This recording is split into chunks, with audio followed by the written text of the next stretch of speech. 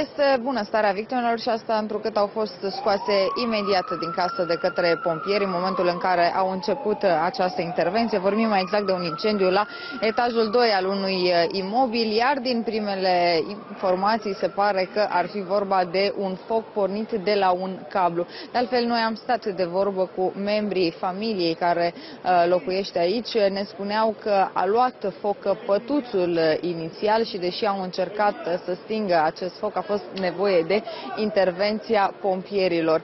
De altfel, în momentul de față, în continuare, uh, cei de la ISU se află în acest imobil, tocmai pentru a elimina toate posibile uh, focare care ar putea uh, stârni din nou focul.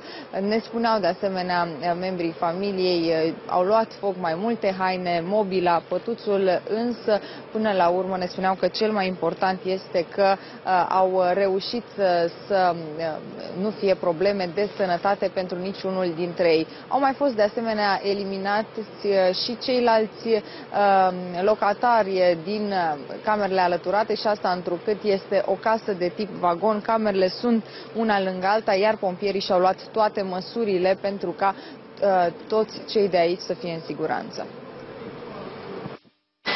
Incendiul este localizat, lichidat, nu se mai poate extinde. După cum ați precizat, au fost șase adulți și doi copii care au fost evacuați din acea cameră și din încăperile învecinate, dintr-o casă cu două etaje.